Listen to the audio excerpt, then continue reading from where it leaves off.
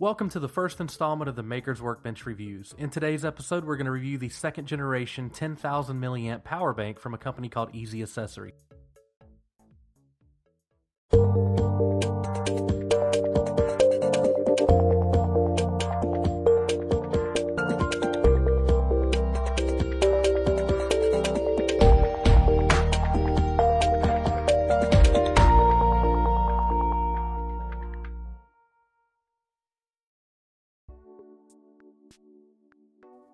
Hello, everyone. Welcome to the first installment of the Maker's Workbench Reviews, a new series here on the Maker's Workbench YouTube channel where I review tech hardware and tools and other fun things.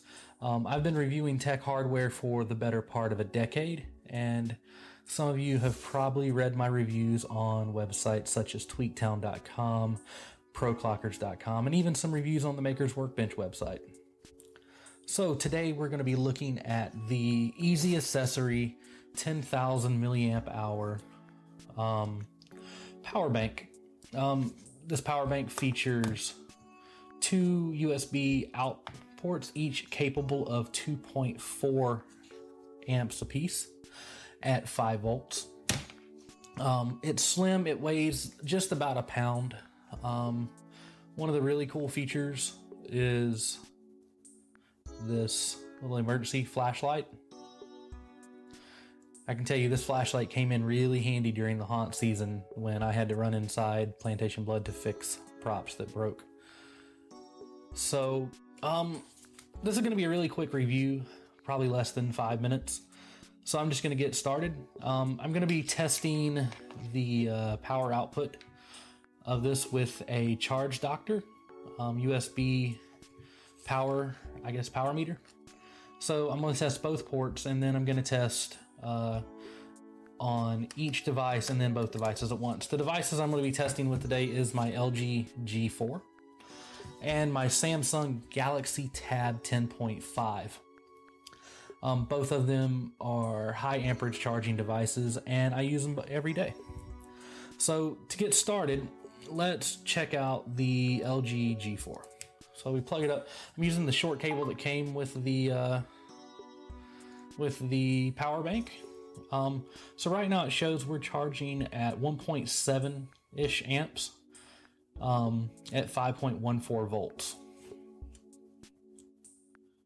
So this this uh, LG G4 probably only consumes about 1.7 amps when charging, maybe up to maybe 1.9. Um, I haven't seen it consume anything above 1.9. Um, certainly never seen it anything near 2.4. Um, so yeah, so we've let it charge for a few seconds and it's still at 1.79 amps and 5.14 volts. So let's check out the other port. We're getting about the same thing, 5.14 volts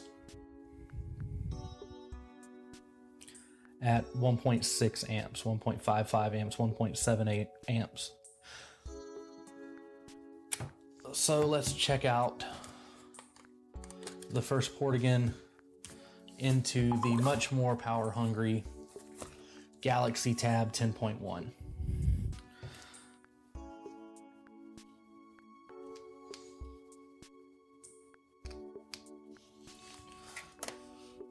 So this is this Galaxy Tab is at about 20% power, and you can see it's charging at 5.13 volts at 1.7 amps.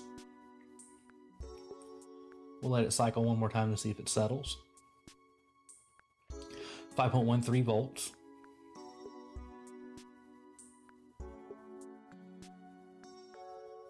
At 1.7 amps. Let's check out the other port. 5.13 volts.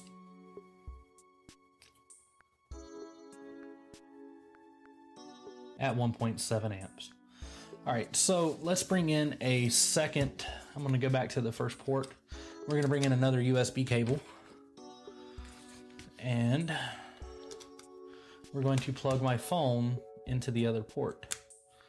Now, um, port 1 is charging the, the tablet at 1.43 amps. 1.33 amps at 4.94 volts, 5 volts. So it does take a little bit of a hit um, when you're charging two devices. But even at 1.3 amps, um, my tablet should charge in about an hour, and the phone should charge in less than 45 to 50 minutes. Um, I've used this power bank extensively over the last month and a half, um, a lot during the haunt season at the local haunted house I was doing some work at. And I've been able to charge my phone up to three times from this one power bank alone. Um, the LG G4 features a 3000 milliamp hour battery, and with this being a 10,000 milliamp power bank, I have just a little bit left over to get me through uh, a little boost in case the night runs long. Um, it's charged this tablet about two and a half times. Um, I'm not going to say to do a full three time charge because the battery is significantly bigger. I think it's a, I don't know exactly the specs on it, but I think it's bigger. Um, I've charged a friend's iPhone 5 6, um, or iPhone 6, and then another friend's iPhone 5 several times as well. Um, and like I said, the little flashlight definitely comes in handy. So, um, if you want to hit the uh, link below in the description to the written review for this on themakersworkbench.com, and there is a link to buy this on Amazon if you wish to do so. It right now I think it's on sale for about $19, and I would definitely recommend it. If you like this video or want to see more videos like this, please remember to rate, comment, and subscribe. And uh, if you are feeling generous or would like to help us continue to do more stuff like this, please consider visiting our Patreon and becoming one of our patrons. Um, every dollar counts and it really helps to move us forward in doing more stuff like this. You can get all those links in the description below. Thanks for watching. Remember to hack the world and make awesome.